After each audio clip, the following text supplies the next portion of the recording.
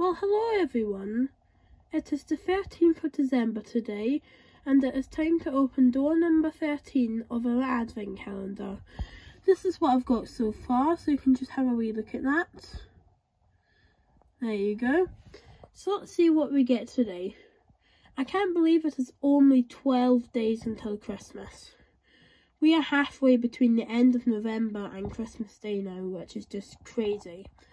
But anyways, can you find door number 13? Here it is, so let's see what we get in this door.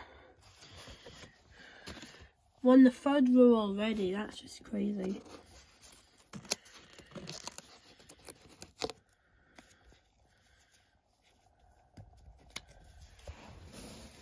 Oh, we got Lamusco today.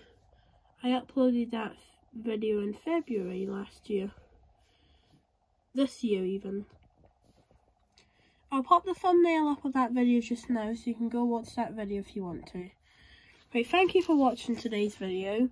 Please like and subscribe and I will see you tomorrow to open door number 14. Bye!